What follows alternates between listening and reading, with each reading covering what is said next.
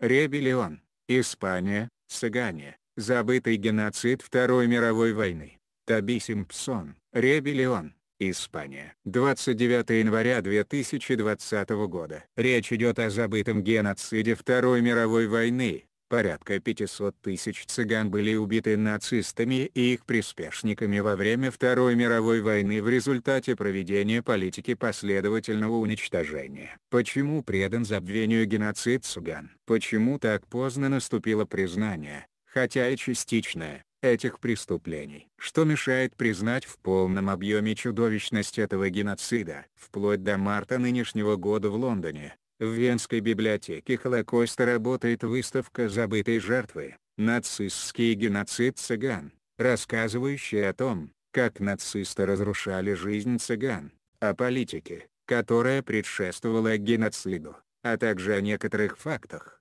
скрывавшихся в течение десятилетий. Еще до 1933 года цыгане подвергались преследованиям и дискриминации в Германии, но с приходом к власти нацистов они стали гораздо более жестокими. В середине 30-х годов Хахавека цыганам был запрещен целый ряд профессий, многих отправили в концлагеря. В конце 30-х годов, согласно расовой теории нацистов, Цыгане были объявлены людьми иностранной крови и представляли собой угрозу расовой чистоте главенствующей арийской расы. В рамках этой теории цыгане были подвергнуты программе массовых псевдонаучных исследований и насильственной стерилизации. Во время Второй мировой войны, на оккупированных нацистами территориях цыгане подвергались депортации в концлагеря и гетто, отправлялись на принудительные работы. Многие умерли от недоедания, были расстреляны или погибли в газовых камерах лагерей Хелмна и Освенцим.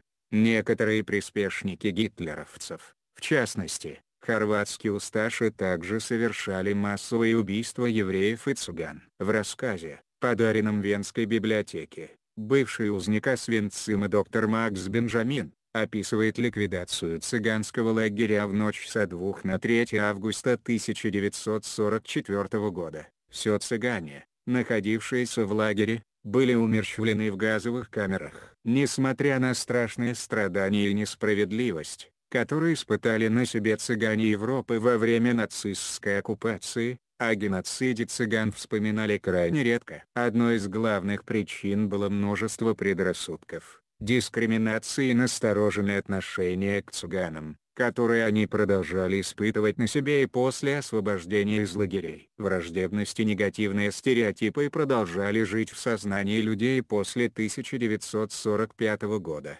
Во многих странах неучастие цыган в органах политического и экономического управления стали причиной непризнания их преследования геноцида. Это проявилось в том, что в ходе первых судебных заседаний по военным преступлениям не были привлечены к ответственности лица, совершившее преступление в отношении цыган. В послевоенной ФРГ царила атмосфера отрицания значимости преступлений, совершенных в отношении цыган, которые зачастую даже не получали компенсаций, полагавшихся жертвам расовых преследований нацистов. Ни один из множества мемориальных комплексов, возведенных после войны, не был посвящен жертвам из числа цыган. Германия официально признала преступления нацистов в отношении цыган как геноцид лишь в 1982 году. Франция впервые извинилась за пособничество нацистам в совершении преступлений против цыган в 2016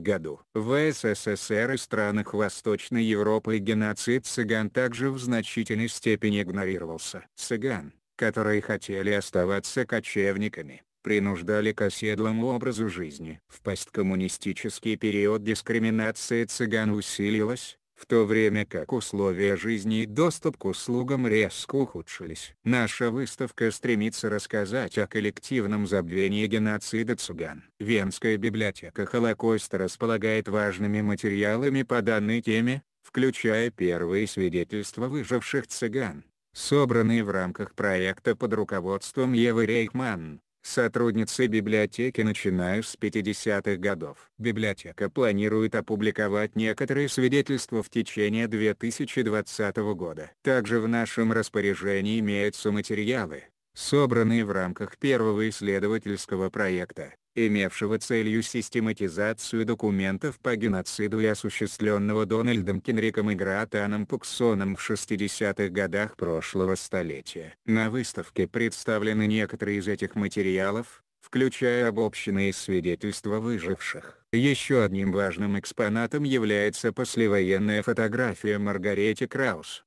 на которой можно разглядеть татуировку номера узника на левом предплечье. Маргарете Краус была чешской цыганкой, выжившей в Освенциме, где ее насильно подвергали медицинским экспериментам. Снимок Маргарети Краус был сделан журналистом из ГДР Реймаром Гильзенбахом в 60-е годы. Гильзенбах исследовал преследование цыган в нацистский период. Особое место на выставке занимает документ под названием «Запреты в отношении поляков, евреев и цыган» представленный Нюрнбергскому трибуналу по военным преступлениям в качестве доказательства преступлений нацистов. Этот циркуляр, датированный 10 марта 1944 года и разосланный Генрихом Гиммлером группе высокопоставленных государственных чиновников. В циркуляре сообщалось о полной эвакуации и изоляции евреев и цыган. Это означало, что в дальнейших директивах по ним уже не было необходимости. Эвакуация и изоляция в данном контексте означали, что подавляющее большинство евреев и цыган Великой Германии уже были отправлены в гетто, концлагеря или убиты. Используемая здесь терминология иллюстрирует свинцовую реальность бюрократического языка СС описанного в мемуарах историка Марка Розмана как дьявольская пародия на административную пунктуальность. Выставка также рассказывает об истории Ганса Брауна, немецкого цыгана, родившегося в Ганновере в 1923 году. Браун прошел через ад Освенцима и Флоссенберга. Большинство членов его семьи были убиты в Освенциме. Когда Ганс Браун в 1950 году подал иск германскому государству о компенсации, местная полиция решила возбудить против него уголовное дело пытаясь найти ложные доказательства того, что Браун был отправлен в лагерь за совершенные преступления чтобы таким образом оправдать отказ в иске, то обстоятельства, что истинная природа и масштабы геноцида цыган отрицались, умалялись или игнорировались таким количеством людей в течение такого длительного времени стало невыносимым и вызывало негодование у оставшихся в живых узников и членов их семей. Хотя уже слишком поздно восстанавливать попранную справедливость, тем не менее, Совершенно недопустимыми являются дискриминация и отчуждение, которым подвергаются цыганские сообщества в Венгрии, где враждебность и дискриминация цыган наблюдалась всегда, или на Украине, где за последние два года группы неонацистов совершили целый ряд нападений на цыган. Данная выставка, по всей видимости, это только начало. Она показывает, к чему могут привести дискриминация и предрассудки. Материалы на СМИ содержат оценки исключительно зарубежных СМИ и не отражают позицию редакции на СМИ.